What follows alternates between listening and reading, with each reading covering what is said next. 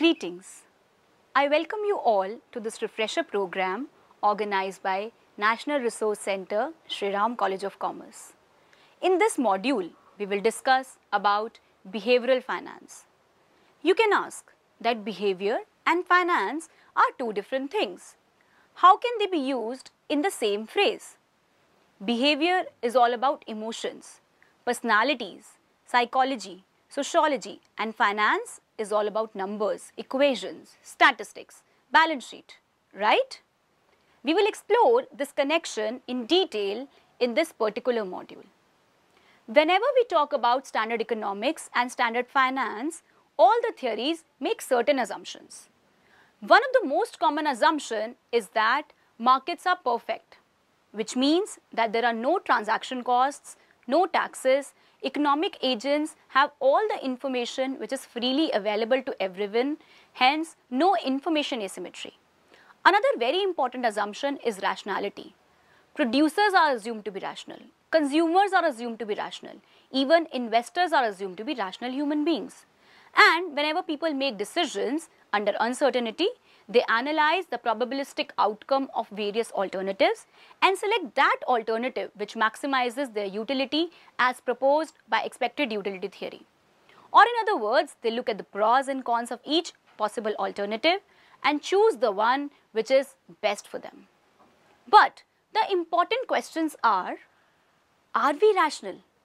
To what extent the results predicted by these models are close to reality? And do we actually make our decisions in accordance with expected utility theory? Let's take an example. Let's say a person wants to marry and if he evaluates all the possible prospects for marriage, his whole life will easily pass just by evaluating the positives and the negatives of these people. And it is quite possible that he will end up as a bachelor.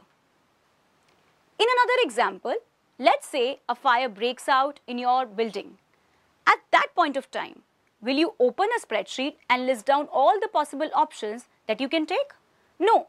As soon as you see there is a fire, the flight or fight response would trigger in and you would want to escape the fire and try to save the life of your near and dear ones and yours too.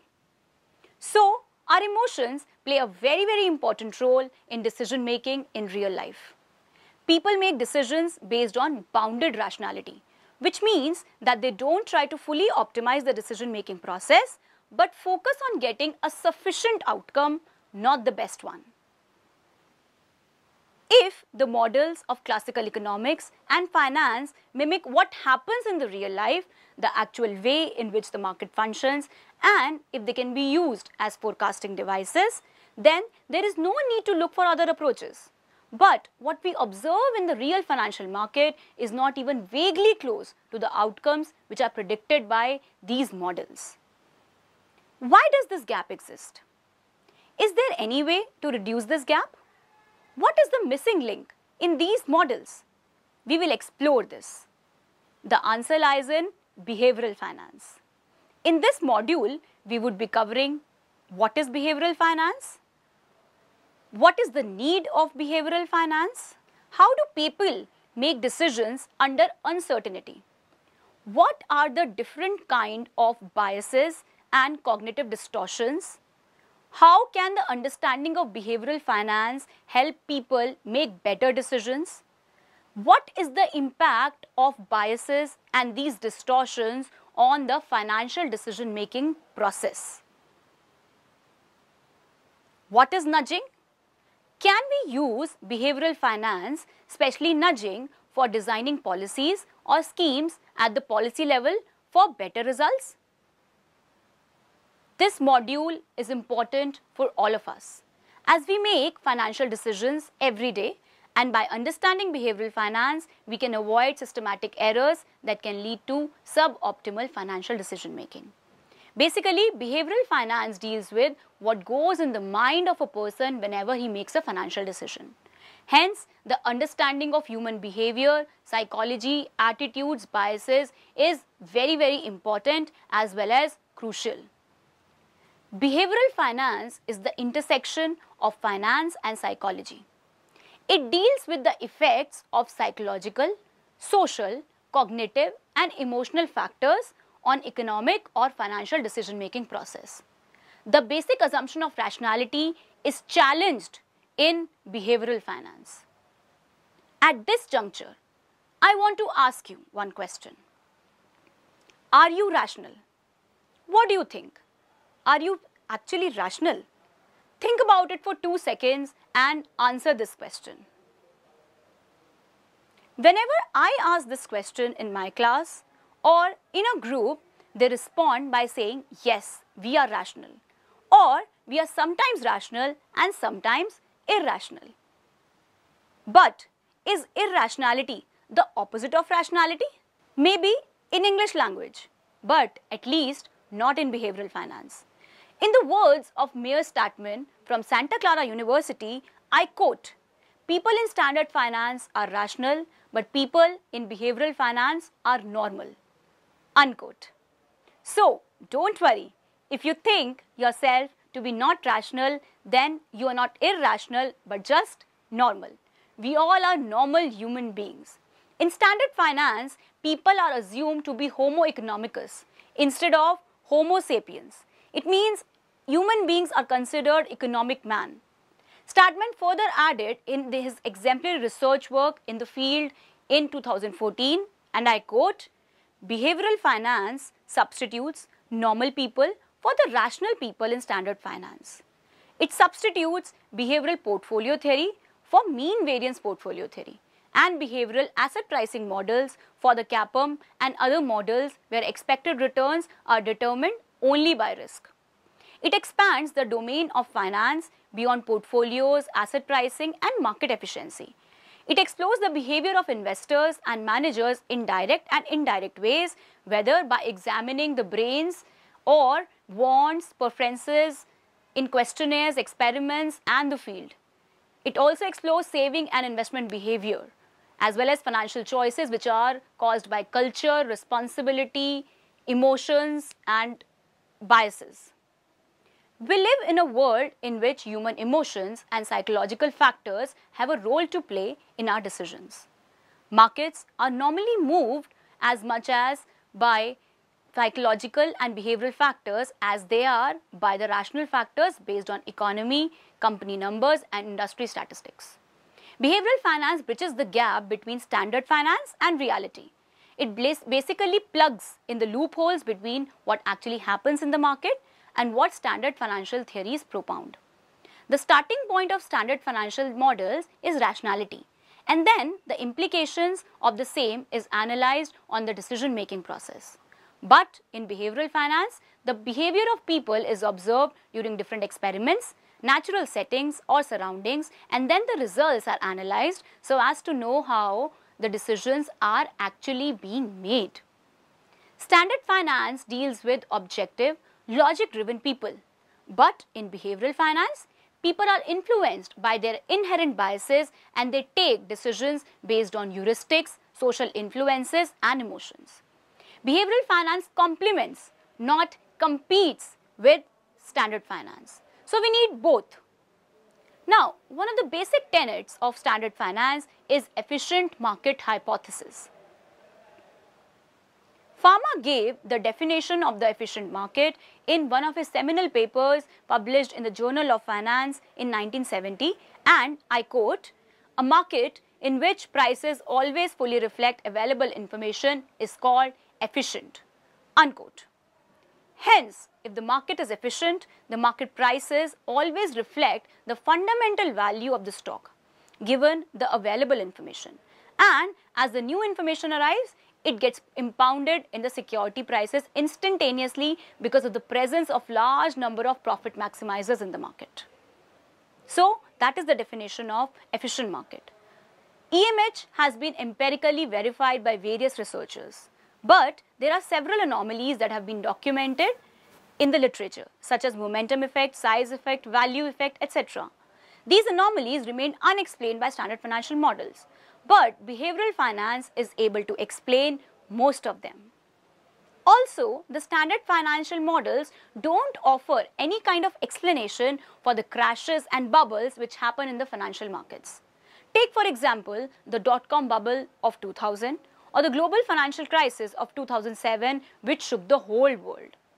Researchers and practitioners all over the world realize that these bubbles and crashes can be understood using the concepts and elements of behavioral finance. The origin of behavioral finance can be traced back in to 1980s. Daniel Kahneman, who is known as the father of behavioral finance, along with Amos Tversky, gave one of the most important theories of behavioral finance, which is called the prospect theory in the year 1979.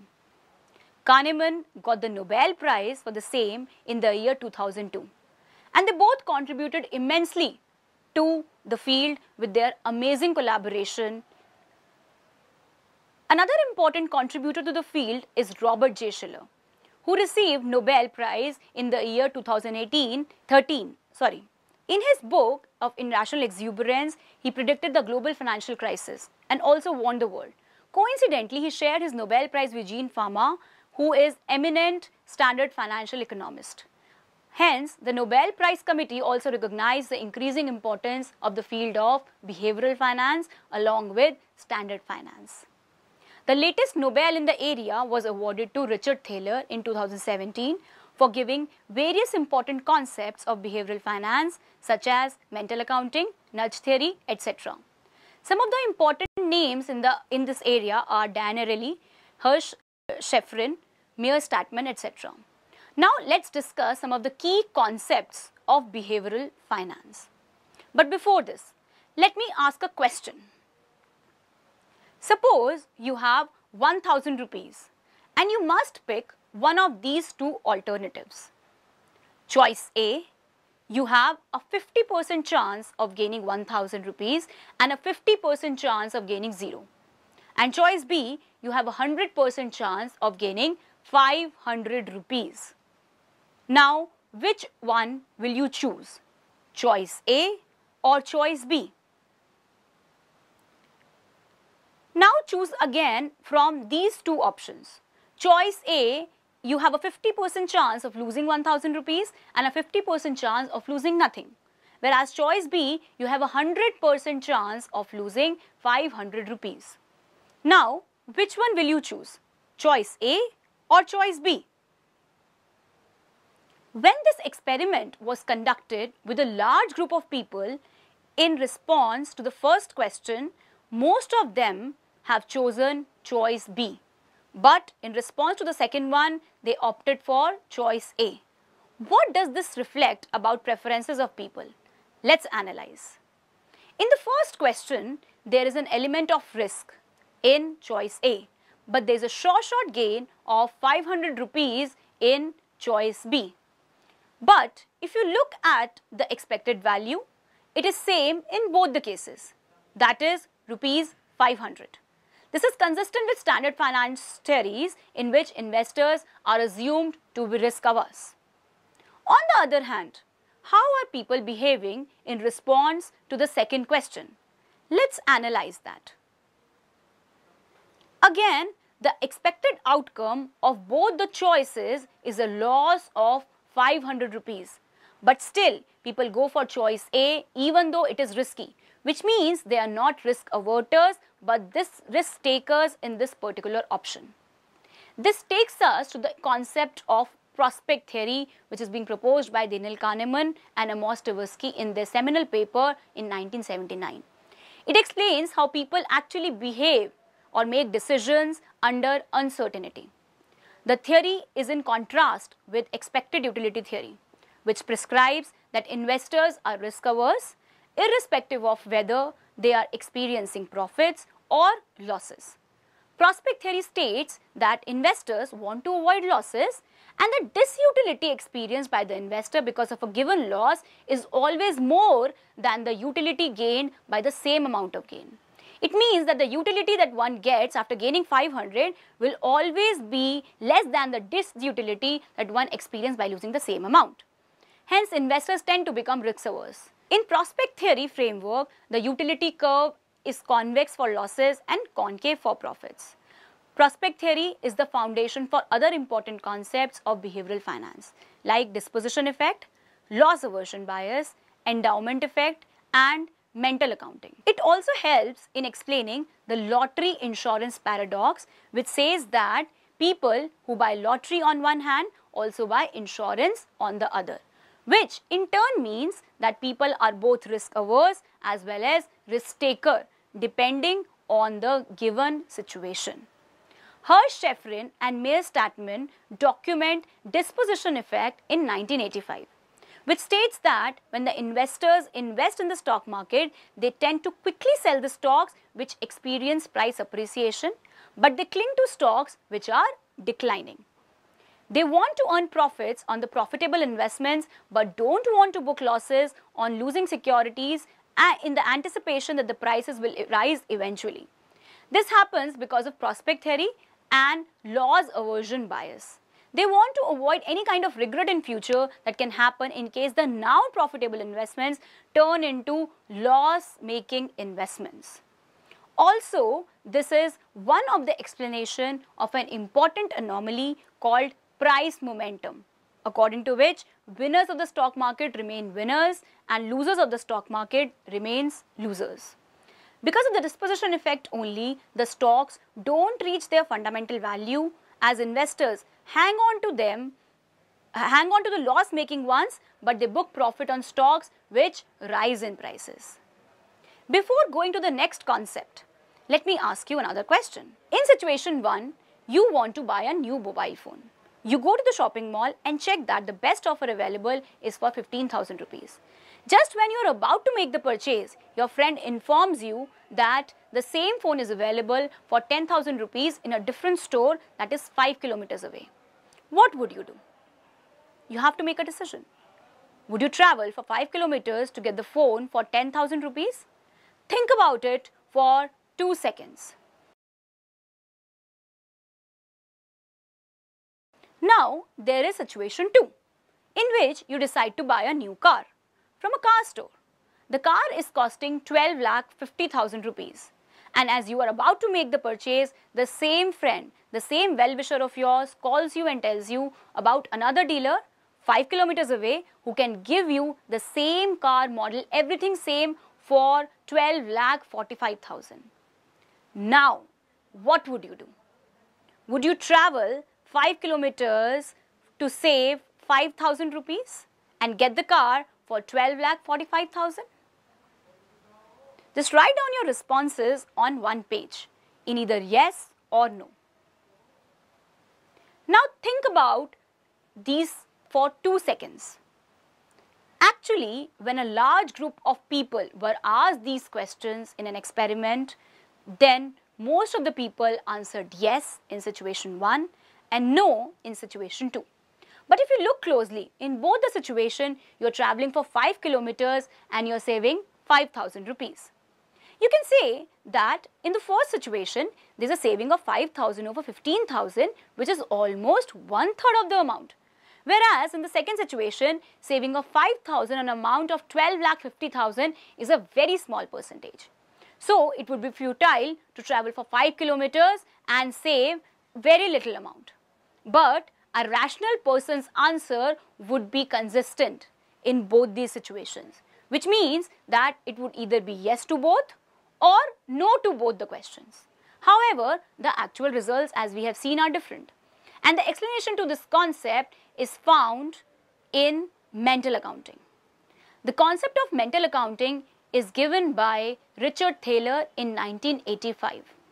According to this, individuals tend to mentally allocate their current and future wealth into non-transferable separate compartments. And this compartmentalization of money happens on the basis of source of money and intent of account. Individuals don't consider that the money is fungible, which leads to less than optimum investment decision making by them. For example, when people receive their salary after working very hard the whole month, they are very careful in spending that money. But suddenly, if they receive an unexpected bonus, they may spend that money not so carefully and may use it for travel or for partying. Another evidence of mental accounting can be seen when people tend to save money in their saving account which gives a lower rate of interest and they keep on paying a higher interest on the loans. Whereas they can easily use the money from their savings bank account to pay the loan amount, thereby saving a huge sum of amount. But compartmentalizing different accounts leads to systematic errors in this decision making. Diamonds are considered girls' best friend. Whenever you want to propose someone or you want someone to propose to you, you always want a diamond in the picture. Yes, we are all influenced by Hollywood and Bollywood. Conventional wisdom suggests that a diamond engagement ring should cost around 2 months worth of guy's salary. While spending 2 months worth of salary can serve as a benchmark, it is still a completely irrelevant reference point created by the jewelry industry to maximize profits. And it is not a valuation of your love for the other person. Then why do we fall for this trap? Satya Paul is my favorite sari brand. I love the saris created by Satya Paul. Let's say I enter a Satya Paul store. Now, I see the first sari and the tag on the sari says 16,000 rupees. Then I look for another one. Price tag 20,000. Another one 30,000. After a look around the store, I find the normal range of the saris is from 15,000 to 45,000. Then suddenly I find a sari worth rupees 10,000. What do you think? The sari would appear cheap or costly to me? It would appear very cheap to me. On the other hand, now let's look at another brand called Big Bazaar. Its tagline itself says, "Isse sasta or acha kahi nahi." Now at Big Bazaar, saris are available in the range of 2000 to 10,000. And coincidentally, if I see the same sari, same Satya Paul sari, then automatically it will appear for, for 16, for 6,000, it will appear very costly to me. Why? Why does this happen? Because we are affected by something called anchoring bias. It is also called an information processing bias. It suggests that people have the tendency to anchor on the first piece of information that they receive. Also, the first decision to take in a new setting is the most important one as it will always serve as an anchor for the upcoming decision. It is also known as self-herding phenomena. In the Satya Paul example, the price of the first sari served as an anchor for the customer and the actual worth of the sari purchased can be or cannot be the equal cannot be equal to the price of the sari. During negotiations, most of the people want the other party to, to quote the price to start the negotiations. The buyer wants the seller to quote and the seller wants the buyer to quote the price so that they can get an anchor. And then they use this price for negotiation. But this anchor is irrelevant. In stock markets, investors use 52 week high or 52 week low prices as anchors to buy, hold or sell a stock. So if a stock reaches the 52 week highest price, then people would think that they should not buy that stock as it has already reached its peak, even if the fundamentals warrant it to go higher. Similarly, if a stock is at 52 week lowest points, then people would start buying the stock thinking that it won't go further down. But it is not true. And people also use that prices at which they have first bought the stock at, as an anchor.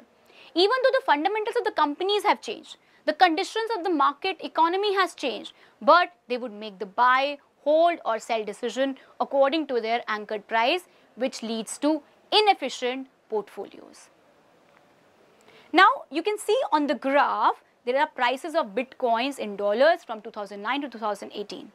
From 2014 till 2017, nothing much was happening in this space. But as you go on to 16 December 2017, you see it reaches the level of $19,000 from the level of approximately $2,000 in a span of just 6 to 7 months. And later on, it came down to approximately $6,000 in a short span of 6 months. What happened? Did some fundamentals change? No. Then what happened? Similarly, this is the BSE Sensex graph. The value of the Sensex was 13,800 approximately on 5th January 2007, but it reached the highest value of approximately 21,000 in just 12 months. That is an increase of approximately 50%. Was it because of the fundamentals? No. The answer is bandwagon bias or bandwagon effect. Joining the bandwagon, herd mentality. This is the explanation and we all fall prey to this particular bandwagon effect. It basically refers to the tendency to conform, be a part of the crowd and to do things because others are doing them or others have believe in them. In financial markets, when an investor starts buying or selling stocks because everybody else is doing it, then he becomes a part of the bandwagon. This happens because if the investor is suffering a loss in an investment with so many other investors, then this, this utility would not be as severe as it would be had he been making losses alone. Herding behavior also results in regret aversion. Joining a bandwagon provides a pseudo sense of security rather than improvement in decision making by investors. Bandwagon effect is capitalized by various brands also. For example, if you look for a property to stay on bookings.com, then you will see this. In this screenshot, you will see that it is written that the property which they are showcasing has already been booked six times in the last six hours. They are trying to show that it is a very good property because it is booked so many times. Hence, you should book it too as soon as possible. Herding has positive impacts too. And in even Robin Sharma, the motivational speaker, admits it. He states that the number one way to make significant improvements in your life easily is to associate yourself with people who you want to be and live like.